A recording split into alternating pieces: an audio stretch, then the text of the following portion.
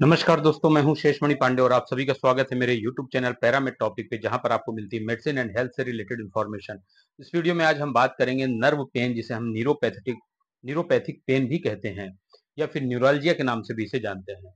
तो इस वीडियो में हम जानेंगे कि नर्व्स क्या होती हैं, ये कैसे नर्व का पेन क्रिएट होता है, इसके कारण क्या है, इसे कैसे बचा जा सकता है, इसके ट्रीटमेंट क्या है तो वीडियो को लास्ट तक ज़रूर देखें और अगर आप पहली बार मेरे चैनल पर विज़िट कर रहे हैं या अभी तक मेरे चैनल को सब्सक्राइब नहीं किए हैं तो रिक्वेस्ट करूँगा कि चैनल को सब्सक्राइब कर लें और साथ ही बेल आइकॉन ज़रूर दबा दें ताकि आपको सबसे पहले नोटिफिकेशन मिल सके।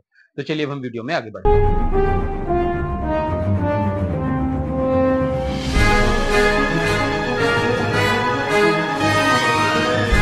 तो सबसे पहले हम ये जानते हैं कि ये नर्व्स क्या होती हैं। नर्व्स एक तरह से नर्व फाइबर्स की एक तरह की सेल्स होती हैं, उनका एक बंडल होता है। तो जो ये सेल्स होती हैं, उन्हें हम न्यूरॉन्स के नाम से जानते हैं। ये न्यूरॉन्स का जो काम होता है, वो हमारे बॉडी और ब्रेन के बीच में कम्युनिकेशन करना होता है, यानी कि इलेक्ट्रिकल सिग्नल्स ये लाने और ले जाने का काम करते हैं। और इसी के माध्यम से हमें महसूस होता है या हम कुछ भी काम करते हैं तो वो सारे सिग्नल्स ही हमें, वो मैसेज देते हैं, उसके बाद ही हमारे बॉडी वो एक्शन करती है। तो जो ये न्यूरॉन्स होते हैं, ये कई प्रकार के होते हैं। इनमें से मुख्य रूप से जो न्यूरॉन्स होते हैं, वो मोटर न्यूरॉन्स होते हैं सेंसरी न्यूरॉन्स होते हैं और इंटर न्यूरॉन्स होते हैं। तो सबसे पहले हम देख लेते हैं कि मोटर न्यूरॉन्स क्या होते हैं। तो मोटर न्यूरॉन्स जो होते हैं, वो ब्रेन और स्पाइनल कार्ड से सिग्नल को मसल तक ले जाते हैं, जो हमें चलने में मदद करते हैं, सांस लेने में, निगलने और बोलने में मदद करते हैं। उसके बाद सेंसरी न्यूरॉन्स होते हैं। सेंसरी न्यूरॉन्स जो होते हैं, जो हम देखते हैं, छूते हैं स्वाद लेते हैं, इन सब की जो हमें फील होता है, उसे हमारे मैसेज के थ्रू हमारे ब्रेन तक ले जाते हैं। इंटर न्यूरॉन्स जो होते हैं, ये सेंसरी न्यूरॉन्स और मोटर न्यूरॉन्स के बीच कम्युनिकेट करते हैं। जैसे कि कोई भी गर्म चीज़ या गर्म सतह के पास जा, अगर हम गए तो उस, हमारा ब्रेन उसे मैसेज देगा कि उस चीज़ से दूर हटो। तो दूर जाने का जो ये एक्शन होता है, ये हमारे इंटर न्यूरॉन्स के माध्यम से होता है। इसके अलावा हम जो भी सोचते हैं, याद रखते हैं, इन सब चीज़ों में ये जो इंटर न्यूरॉन्स होते हैं, काफ़ी रोल प्ले करते हैं। तो ये हमने देख लिया न्यूरॉन्स के बारे में तो ये यही न्यूरॉन्स मिलकर एक सिस्टम बनाते हैं, जिसे हम नर्वस सिस्टम कहते हैं। और हमारी बॉडी में दो तरह के नर्वस सिस्टम होते हैं। एक होता है सीएनएस एक होता है पीएनएस सीएनएस यानी कि सेंट्रल नर्वस सिस्टम पीएनएस मतलब पेरीफेरल नर्वस सिस्टम। तो सीएनएस में ब्रेन और स्पाइनल कॉर्ड होता है। इस सिस्टम का काम होता है कि हम क्या सोचते हैं, क्या महसूस करते हैं, किस तरह से चलते हैं, इन सब एक्टिविटी को कंट्रोल करना। पीएनएस यानी कि पेरीफेरल नर्वस सिस्टम, ये प्रकार के न्यूरॉन्स का एक नेटवर्क होता है जो कि हमारे स्पाइनल कॉर्ड से बाहर की ओर निकलते हैं।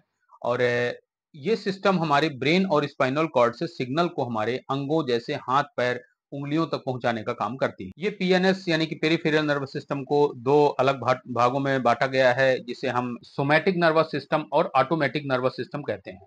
सोमैटिक नर्वस सिस्टम ये हमारी स्वैच्छिक गतिविधियों को रेगुलेट करता है, यानी कि हमारी वॉलन वॉलन, जो वॉलंट्री एक्शंस होती हैं, उनको कंट्रोल करता है। और ऑटोमेटिक जो होता है, ये हमारी अनवॉलंट्री एक्शंस को कंट्रोल करता है। ये हमने देखा नर्व्स के बारे में और नर्व से मिलकर जो हमारा नर्वस सिस्टम बना ये बेसिक आइडिया हम लोगों ने इसके बारे में जान लिया ताकि हम समझ सके कि नर्व्स क्या होती हैं।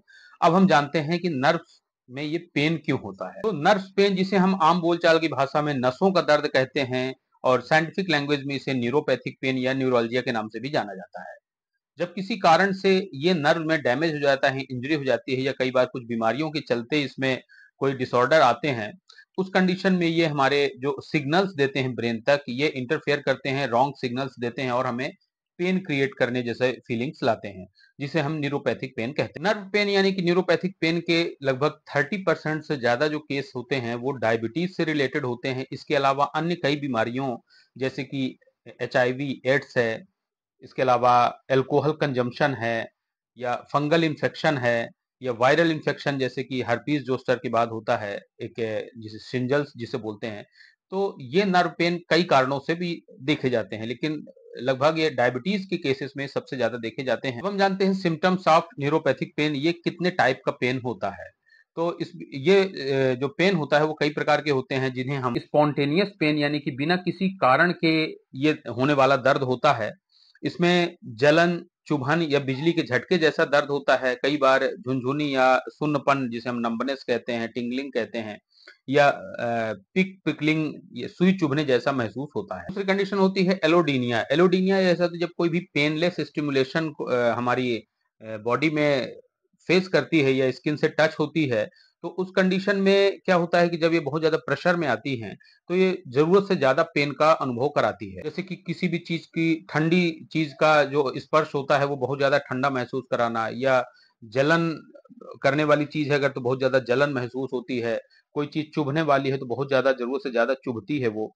तो इस तरह के जो अनुभव होता है उस कंडीशन को एलोडीनिया कहते हैं। एलोडीनिया में ये एक्सट्रीम सेंसिटिविटी टू टच यानी कि स्पर्श के प्रति संवेदनशीलता ज़्यादा दिखाते हैं। कई बार ये पेनफुल कंडीशन पेनफुल जो कोई भी स्टिमुलेशन है, अगर वो हमें हमें ज़रूरत से ज़्यादा महसूस होता है, तब उस कंडीशन में इसे हाइपर एलजीसिया कहते हैं। सेम इसी तरह से अगर हमें बहुत कम महसूस होता है तो उसे हाइपो एलजीसिया भी कहते हैं। कंडीशन होती है डिसेस्थीसिया जब हमें किसी प्रकार की अजीब, अप्रिय संवेदना महसूस होने लगती है, उस कंडीशन को डिसेस्थीसिया कहते हैं। कई बार ये न्यूरोपैथिक पेन के कारण इनसोमिया यानी कि डिप्रेशन और नींद ना आने जैसी समस्याएँ भी इसमें शामिल होती हैं। अब हम बात करते हैं कि न्यूरोपैथिक पेन को ट्रिगर करने वाले कारण क्या है, इसके कॉजेस क्या है कौन कौन से चीज़ों के कारण ये न्यूरोपैथिक पेन बनता है या बढ़ता है? तो इसमें मुख्य रूप से है एल्कोहल यूजेस डिसऑर्डर डायबिटीज़ है फेसियल नर्व कंडीशन है एच एड्स है CNS disorders like stroke Parkinson disease या मल्टीपल स्क्लेरोसिस जिसे एमएस कहते हैं।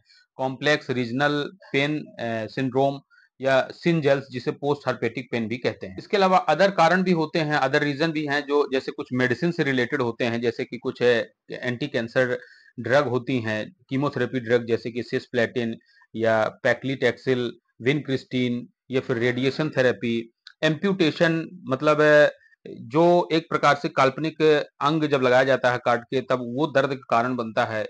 स्पाइनल नर्व कंप्रेशन या फिर इन्फ्लेमेशन या ट्रॉमा हो या सर्जरी हो, जिसके कारण नर्व डैमेज हो जाए, या ट्यूमर्स हो, जो नर्व को प्रेस करता है तो ये सारे कारण, दूसरे कारण भी होते हैं, जो नर्व डैमेज या नर्व पिंच करने के बनते हैं। तो हम बढ़ते हैं इसके ट्रीटमेंट पार्ट की तरफ़ तो न्यूरोपैथिक पेन का जो ट्रीटमेंट होता है, वो अंडरलाइंग कॉज और स्पेसिफिक सिम्टम्स पर डिपेंड करता है, और उन्हीं के आधार पर जो आपके डॉक्टर होते हैं, वो ट्रीटमेंट को प्लान करते हैं। तो ट्रीटमेंट का गोल क्या होता है, ऑब्जेक्टिव क्या होता है, वो किस हिसाब से इसका ट्रीटमेंट स्टार्ट किया जाता है? तो उसमें जो पहला स्टेप होता है कि ट्रीट एनी अंडरलाइंग डिसीज, यानी कि अगर जिस कारण से कोई बीमारी के चलते अगर कोई ये नर्व पेन हो रहा है तो उसको ठीक किया जाए, जैसे कि कई बार ट्यूमर्स के चलते होता है ये प्रॉब्लम या अन्य कोई कारण है जिसके अंदर वो बल्गिंग हो रही है तो उसे श्रिंक करने, सिकोड़ने या उसे रिमूव करने के लिए रेडिएशन थेरेपी या फिर सर्जरी की आवश्यकता पड़ती है। ट्रीटमेंट का अल्टीमेट जो ऑब्जेक्टिव होता है वो पेन रिलीफ होता है कि पेशेंट को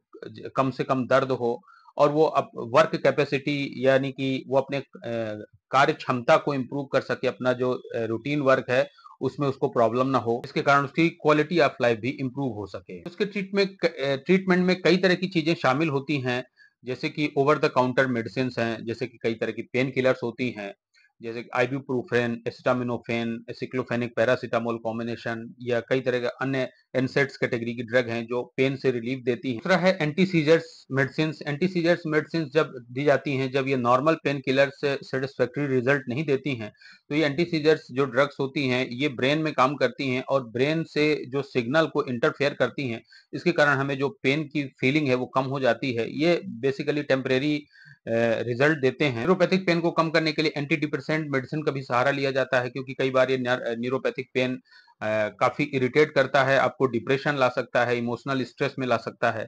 तो इस कंडीशन को कंट्रोल करने के लिए एंटी डिप्रेसेंट मेडिसिन का भी उपयोग किया जाता है और ये ओवरऑल पेन को कम करने में भी मदद करती है। टॉपिकल ट्रीटमेंट यानी कि कुछ क्रीम्स या मलहम भी होते हैं, जैसे कि लिडोकेन है या कैप्सेसिन है तो इनका एक क्रीम को अफेक्टेड एरिया में लगाया जाता है या कई बार पैचेस को भी डायरेक्टली अफेक्टेड एरिया में उपयोग किया जाता है, ये भी पेन के सिग्नल्स को कम करते हैं। नर्व ब्लॉक ये अप्रोच भी होती है, ये पर्टिकुलर अफेक्टेड एरिया में कि इंजेक्शन का उपयोग किया जाता है जो टेम्परेरी पेन रिलीफ देते हैं। फ़िज़िकल थेरेपी भी इसमें इंक्लूडेड होती है। फ़िज़िकल थेरेपी में बेसिकली ये सोरनेस स्टैंडर्ड स्टिफनेस और इनके जो सिम्टोमेटिक जो रिलीफ होता है, इनसे काफ़ी जल्दी मिलता है। फ़िज़िकल थेरेपी में कई तरह की एक्सरसाइजेस रिकमेंड की जाती हैं और कुछ मसाज होते हैं। और ये रेगुलर करने पर ये जो बॉडी में पेन रिलीविंग जो केमिकल्स हमारी बॉडी बनाती है, ये उनको प्रोड्यूस करने में हेल्प करती है, जिसके कारण काफ़ी हद तक आपकी क्वालिटी ऑफ़ लाइफ भी इंप्रूव होती है, पेन से राहत मिलती है। सर्जरी फिर एक ऑप्शन होता है, जब ये नॉर्मल दवाइयाँ काम नहीं कर पाती हैं तब सर्जरी का ऑप्शन होता है जिसमें कि अफेक्टेड एरिया के पास की जो नर्व्स होती हैं, उसे या तो रिपेयर किया जाए या रिमूव कर दिया जाए उस कंडीशन में सर्जरी रिकमेंड की जाती है। साइकोलॉजिकल काउंसलिंग ये कई बार ट्रीटमेंट के साथ ये ज़रूरी होता है क्योंकि पेशेंट को इमोशनल स्ट्रेस से कम करने के लिए ये ज़रूरी होता है ताकि पेशेंट को रिकवरी जल्दी हो पेशेंट को रिलीफ मिले, क्योंकि ये न्यूरोपैथिक पेन के साथ में इमोशनल स्ट्रेस भी जुड़ा होता है। कई बार पेशेंट को डिप्रेशन तक आ जाता है, नींद आने में समस्याएँ होती हैं। तो इन चीज़ों को कम करने के लिए ये साइकोलॉजिकल काउंसिलिंग भी आवश्यक होती है। कई बार जब इन अप्रोचेस से रिलीफ नहीं मिलता है तो कुछ अदर टेक्निक्स का उपयोग किया जाता है, जिसमें कि spinal cord stimulation peripheral nerve stimulation और ब्रेन स्टिमुलेशन भी शामिल होते हैं। यहाँ तक हमने देख लिया कि ये नर्व पेन क्या होता है, कितने टाइप का होता है और इनके ट्रीटमेंट की जो स्टेप्स होती हैं, यानी कि अप्रोचेस क्या होती हैं, इसके बारे में हमने जान लिया। अब ये नर्व पेन को कम करने के लिए हमें क्या क्या करना चाहिए क्या क्या सावधानियाँ रखनी चाहिए? तो उसमें कुछ चीज़ें इंक्लूडेड हैं, जैसे कि स्टॉप स्मोकिंग रेगुलर एक्सरसाइजेज जो रिकमेंडेड हों। Lot of fresh fruit vegetables whole grains and lean protein intake बढ़ाना चाहिए। Limit intake of beverages that contain alcohol जिनमें एल्कोहल हो, ऐसे ड्रिंक्स यूज़ नहीं करना चाहिए। दूसरा, अगर आपको डायबिटीज़ है तो रेगुलर शुगर मॉनिटरिंग करनी चाहिए, क्योंकि डायबिटीज़ के कारण भी ये न्यूरोपैथिक पेन बढ़ता है। तो इस वीडियो में हमने जाना नर्व्स के बारे में, नर्व्स पेन के बारे में और उनके ट्रीटमेंट के बारे में। अगले पार्ट में हम बात कर रहे हैं इसके ट्रीटमेंट से रिलेटेड एक ब्रांड के बारे में, जिसे हम न्यूरोकाइंड जी के नाम से जानते हैं। तो नेक्स्ट वीडियो में हम न्यूरोकाइंड जी के बारे में बात कर रहे हैं। Thank you so much for watching this video.